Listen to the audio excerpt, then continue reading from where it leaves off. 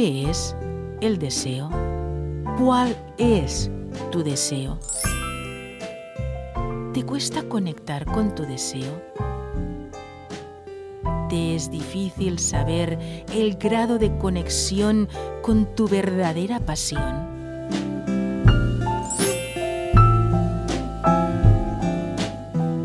Déjame que te cuente un cuento.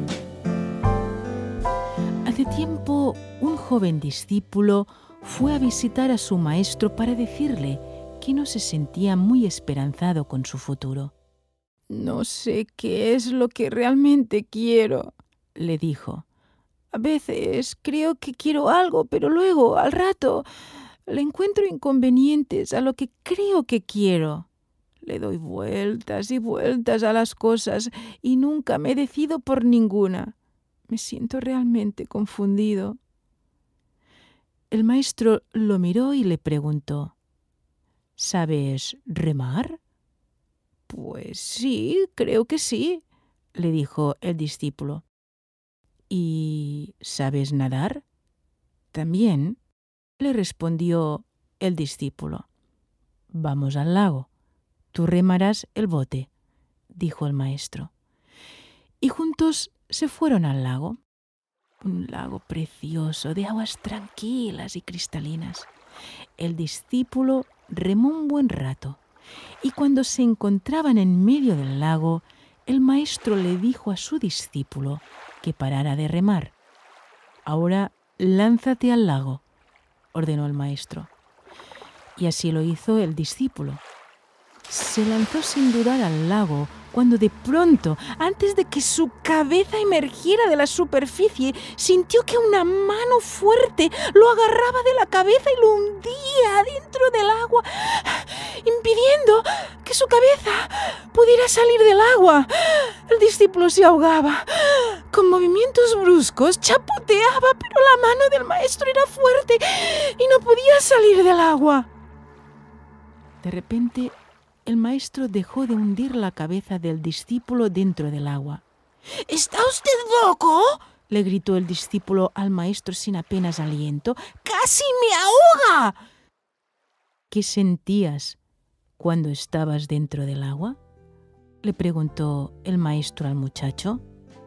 Sentía que no podía respirar, le respondió. Sentía que me faltaba el aire le dijo agraviado.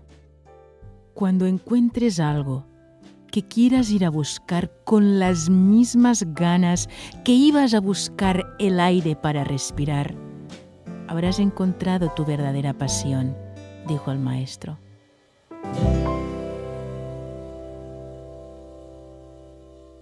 La apatía y el deseo son opuestos. El deseo emerge del interior, de una necesidad vital, de una motivación especial, de una ilusión por poseerlo y disfrutarlo como el aire que respiramos. Nos proporciona vida, placer y satisfacción. Sentir apatía, sentir la falta de deseo, es morir lentamente. El miedo es el freno conectar con esa fuerza vital que todos tenemos para ir al encuentro de algo surge cuando desactivamos nuestros miedos. Y el miedo en la búsqueda de tu deseo, tu pasión, no es una mano que te hunde la cabeza al río, aunque se siente como si lo fuera. El miedo es, en realidad, una fantasía fruto de nuestras creencias, debido a los juicios que hacemos recibidos por nuestra educación. Déjate llevar por el deseo y lo que sea que buscas te encontrará a ti. Porque no está lejos, en realidad está muy cerca, está dentro de ti. No busques en el pasado, abre las puertas al futuro.